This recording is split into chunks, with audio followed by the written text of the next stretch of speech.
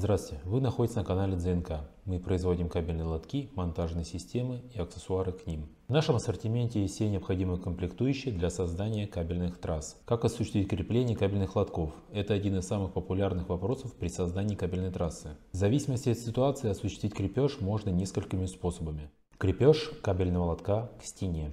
Крепеж кабельного лотка к стене можно осуществить с помощью скобы настенно-напольной. Скоба крепится к стене с помощью анкеров диаметром до 10 мм. Далее с помощью болтов и гаек осуществляется монтаж лотка к самой скобе. Кронштейны ЛК и кронштейны усиленные. Для их монтажа к стене также потребуются анкеры диаметром до 10 мм.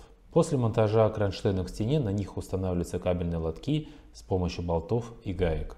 Консоль с основанием КСО. Ее монтаж осуществляется так же, как и монтаж кронштейнов. Далее стоит рассмотреть варианты крепления кабельного лотка на различные стойки. Порой бывают ситуации, когда крепеж лотка к стене осуществить невозможно. Или необходимо проложить несколько кабельных линий на разных уровнях по высоте. В таких случаях устанавливаются кабельные стойки и уже по ним осуществляется монтаж кабельной трассы. Крепление кабельного лотка к стойке. Крепление кабельного лотка к стойке можно выполнить с помощью консоли К1.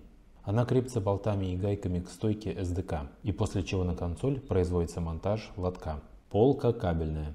Полка крепится на стойку кабельную при помощи ответной части, которая присутствует на самой полке. Тут уже дополнительные метизы для крепления не нужны. Часто кабельные трассы прокладывают под потолком.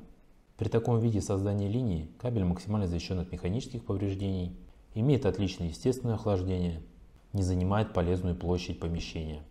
Крепление кабельного лотка под потолком. Крепление кабельного лотка под потолком можно осуществить с помощью подвеса мегапрямого ПОП.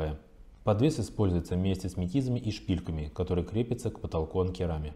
К двум шпилькам крепится подвес, который фиксируется метизами, и уже на самом подвесе устанавливается кабельная трасса.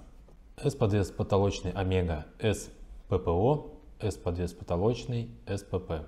Подвес крепится к потолку при помощи анкеров. И далее уже сам блоток устанавливается на подвес. Максимальная длина подвеса составляет 650 мм. Стойка потолочная сварная СПС.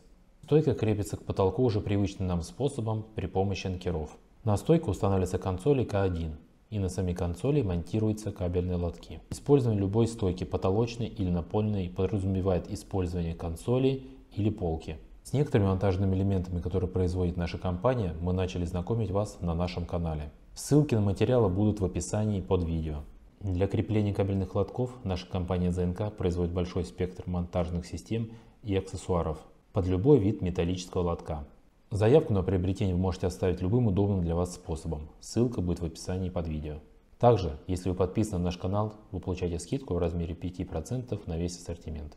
Для получения скидки необходимо предоставить скриншот вашего аккаунта, где в подписке будет фигурировать наш канал. Итак, на этом данное видео подошло к концу. Будем рады, если вам понравилось. Ставьте лайки, пишите комментарии. Всем пока!